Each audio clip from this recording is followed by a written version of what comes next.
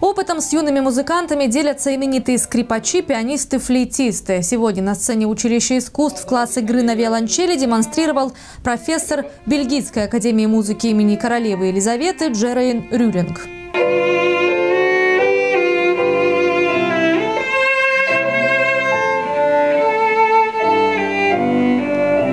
Проводить мастер-классы, отмечает известный виолончелист, дело не из легких, но помочь юным коллегам усвоить самое важное все же пообещал. Я поделюсь со студентами своим опытом. Хочу им сказать, что самое главное для солиста – быть открытым и уверенным. А еще необходимо, чтобы у них было разное видение на одни и те же вещи. Совсем не означает, что я знаю больше, чем учителя этих ребят, но я могу подсказать, как смотреть на одно произведение с разных ракурсов.